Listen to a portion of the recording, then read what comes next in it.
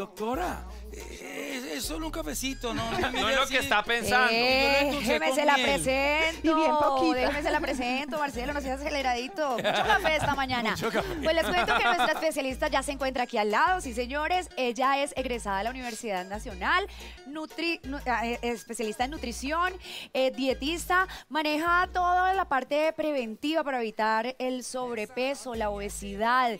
De manera muy fácil y muy didáctica nos va a enseñar a alimentarnos de manera correcta desde el desayuno. Recibimos con un bravísimo enorme a nuestra doctora ¡Maritza Gómez! Tiene que bailar, doctora. El Qué pasito. lindo. Sí, volvemos al pasito. Uh, ¡Va! Ah, no. Suavecito como Ya- la ya margarina bien, Rama, ve- no, y vean. además se le nota que es una buena dietista. está- Bienvenida, Está doctora. apretadita.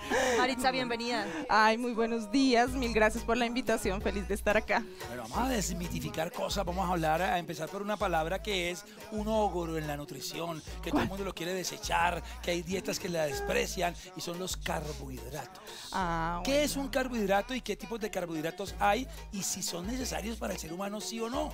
Bueno, em, digamos que el tema de los carbohidratos es un poco difícil de abordar en el sentido de que em, somos muy reduccionistas y ah, engorda, no engorda y ya. Y es y es y es, ese es un nutriente pues como muy profundo para analizar. Entonces, ¿qué son los carbohidratos? Los carbohidratos eh, son uno de los macronutrientes, al igual que las proteínas y las grasas. Su función principal es aportar energía a nuestras células, principalmente a las, a las células de- del cerebro. ¿Listo?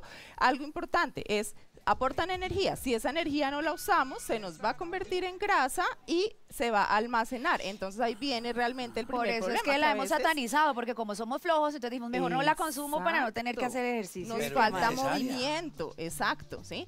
Eh, los carbohidratos los podemos eh, clasificar así en forma básica para que eh, todos los televidentes nos comprendan eh, en simples y complejos.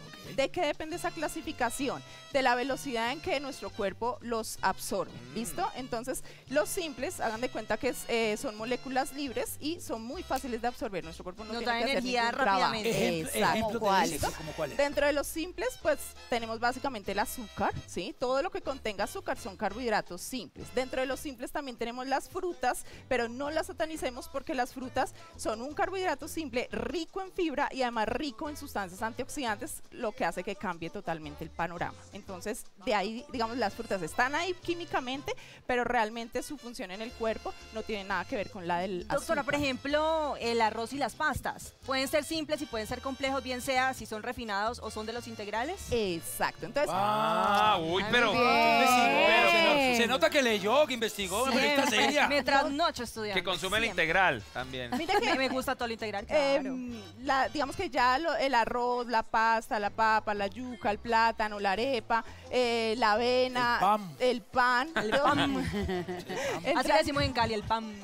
em, esos son, digamos, eh, a, nivel, a nivel químico son carbohidratos complejos. Es decir, que ya no viene la molécula de, de glucosa, que es como viaja el azúcar en la sangre solita, sino vienen varias unidas. Hagan de cuenta un collarcito de perlas, una camándula, vienen unidas. Entonces nuestro cuerpo tiene que hacer un trabajo para, para meta- Metabolizar. metabolizarlo. Incluso cuando el arroz ya está blanco, esas moléculas siguen unidas, entonces digamos que sigue estando dentro de los complejos, ¿sí? Ah. El tema es que como ya está desprovisto de la fibra, obviamente para el cuerpo va a ser mucho más fácil romper esas, esas cadenitas, ¿listo? Algo importante saber, las, los vegetales también son carbohidratos, que la gente dice, ¿no? ¿Y de cuál? ¿De cuál? Son ¿De los lado? complejos, de los súper buenos. ¿Por qué? Porque están, eh, tienen muchísima fibra y además tienen muchísimos antioxidantes. Creo que a, la, información que recibimos de nutrición le falta trascender de solamente los macronutrientes. La gente es, ay, que los carbohidratos, las grasas las proteínas. Pero ¿dónde quedan todas esas sustancias que están en los alimentos que realmente cumplen una función tan importante? Bueno, doctora, vamos a agilizar esto muy bien y a volverlo un poco más práctico. Regálenos, por favor, eh, tips para tener buenos hábitos alimenticios desde que nos levantamos.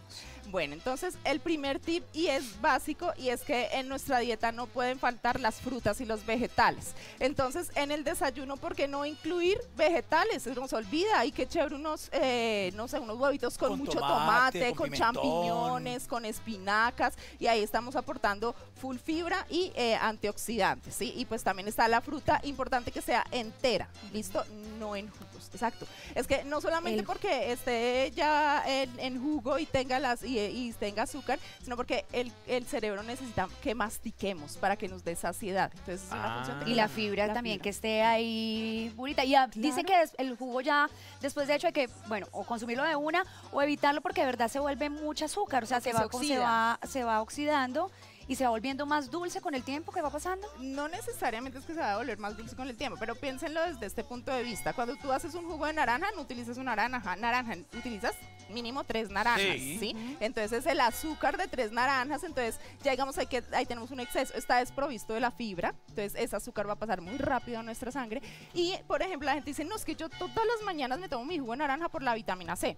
Resulta que la vitamina C es una vitamina sensible a la temperatura, al oxígeno, al metal, entonces cuando nos tomamos el jugo de naranja ya ha perdido hasta un mínimo, 70%. No me decepciones usted así del jugo de naranja. Sí. No, no, no, no, no, no, no, ¿cómo Entonces, entra a intrometerse en mi los que- relación con el jugo Me de queda naranja? una De vez en cuando. Y los que uno consigue ya en tarrito listos para el consumo. Peor. Pues imagínate ya cuánto tiempo llevan expuestos a la luz. Ah. Doctora, entonces, Tanto ¿con que qué me baja uno el gustaba. desayuno? Queda de la ¿Qué lo pregunta. Usted- Con, con un palo de escoba. Tecito, ¿qué le, la qué le guayaba meto? tiene más Agüita. vitamina C. Eh, claro, más vitamina El kiwi C que también. la, na- que la, que la Entonces el propia desayuno sería unos huevos con vegetales, ahí, ahí- ahí Sí, cubrimos sí, eso. buenísimo. Una arepita puede ser integral, una... Claro, ¿sí? una arepita preparada en casa o de estas tipo paisa puede ser Sí. una opción. ¿sí? Y- Ahí, por ejemplo, importante que me faltó mencionar con los carbohidratos. El problema con los carbohidratos también son las porciones, que al final Ah. del día nos excedemos porque es que en todo hay carbohidratos. ¿Y uno en cómo sabe lácteos. cuál es la porción ideal, doctora? Mira, ahí sí hay que consultar a un nutricionista que te ajuste respecto a tu requerimiento, es decir, a tu edad, tu peso actual, tu, tu nivel de actividad física, respecto a todos los factores que te diga, bueno, tú necesitas tantos gramos de carbohidrato al día y esto se traduce en tantos alimentos. Pregunta de pregunta. Este tema sí a mí me encanta porque Sí, tengo claro. que bajar sí Fájese, sí, fájese, una buena Me pregunta. Tengo que bajar una preguntaza. Eh, todo el mundo habla, eh, doctora, sobre las semillas de chía. Si, ha- si es un buen alimento, si Sí. es bueno para subir de peso. Que nos cuente un poquito sobre los beneficios de las semillas de chía. ¿Cómo se debe usar? Bueno, entonces las semillas de chía, eh, ¿dónde las vamos a clasificar? Básicamente son una fuente de fibra. Grasa ¿cierto? también. También son fuente de grasa, pero por ejemplo hay eh, una cosa importante que la gente no sabe y es que nuestro cuerpo no tiene enzimas para romper esa semillita. Y la Mm. grasita saludable, el omega 3, 6 que tiene esta semilla, está adentro. Entonces, entonces- ¿qué pasa? Lo ideal sería uno macerarlas y ahí sí ponerlas en el agua y consumirlas. Ah, miren ese truco. Eh, va- Vamos en orden. Entonces ya desayuné, eh, los huevitos con espinaca, el tema, todo, el jugo de guayaba o el café, ese café tinto en la mañana, Sí, fundamental. claro. Media mañana, porque eso fue temprano, eso fue a las seis y media, siete de la mañana, y ya a las 10 eh, de la mañana está uno con Empieza- hambrecita. ¿Qué puedo comer ahí que me sirva, que sea natural y que sea rápido y que sea saludable? Bueno, importante en los refrigerios procurar siempre que sean alimentos naturales. Sí, entonces ojalá planifiquen, lleven de su, o sea, de su casa. Entonces, incluir fruta. Es un momento para incluir o un vegetal, porque en unos tomaticos cherry, una zanahoria. Zanahoria cruda con. Claro. Frutos y secos. Algún, alguna grasita saludable o alguna fuente de proteína. Entonces ahí donde podemos poner de pronto un, un lácteo, una, o unas almendras o incluso unas aceitunas, ¿sí? un humus de garbanzo. Llegó el almuerzo, doctora. ¿Qué, qué- cómo podemos almorzar de manera buena y que nos dure eh, y que nos nutra de verdad? Bueno, importante, eh, digamos, en términos generales, abundantes vegetales, sean crudos o cocidos. ¿sí? Eh, la, la fuente de proteína, carne, pollo, pescado, atún, Los tratar que la alimentación sea variada. Los vegetarianos, las leguminosas, frijol, Frijol. lenteja, garbanzo.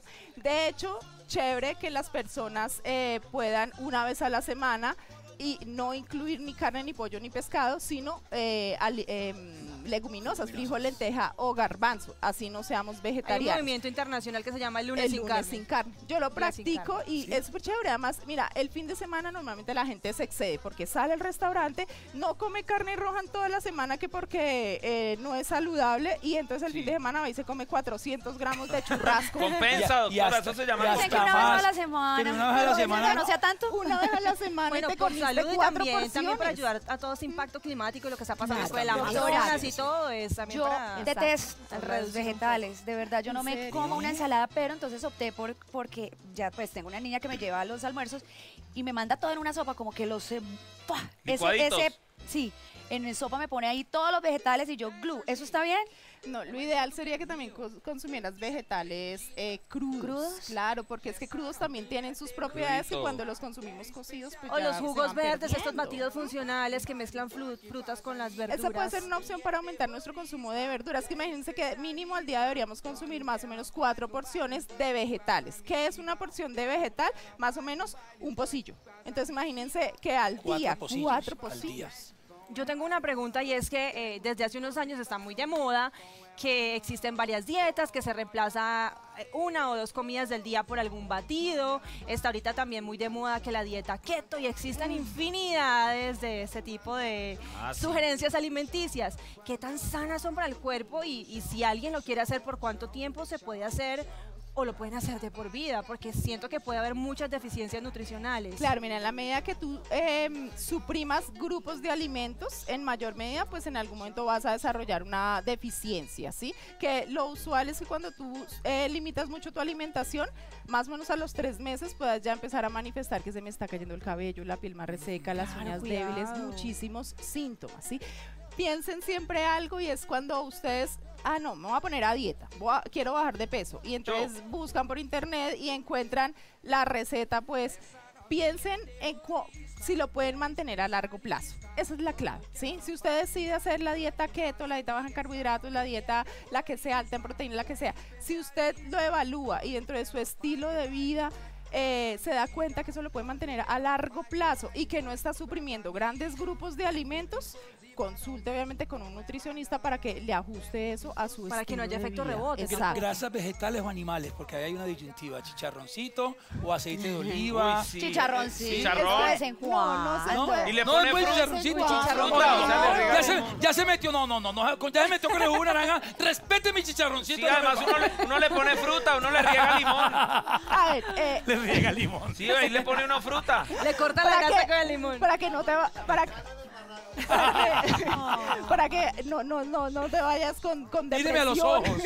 para que no te vayas con depresión y además pues para que me visites y estemos Sí. en contacto. Mira, em, la alimentación no es de blancos y negros, no es de extremos. Es decir, si yo tengo un estilo de vida saludable, soy físicamente activo, consumo abundantes frutas y vegetales, de vez en cuando me tomo mi jugo de naranja, no va a pasar nada. ¿Sí? De hecho, eso está saludable pues porque emocionalmente me gusta y me satisface, Sí, me ¿cierto? encanta y me satisface. Con las grasas, ¿qué pasa? Con las grasas no podemos comparar las grasas animales y las vegetales. Lo que sí se sabe es que nuestro, no- nuestro consumo de grasas tiene que ser principalmente de grasas de origen vegetal, es decir, el aguacate, el aceite de oliva, eh, semillas, las semillas, girasol. nueces, almendras, girasol, todas estas semillas, esas son las principales grasas que debemos consumir. Y las grasas de origen animal, que son una fuente importante de grasa saturada y colesterol, claro que también son importantes en la dieta, porque imagínate que en nuestras células un porcentaje es grasita saturada. se Última necesita. pregunta, doctora. No, por pues favor. ella tiene que volver. última. Ella Ay. tiene que volver, hombre. ¿Sí, a los, a los complementos nutricionales o no?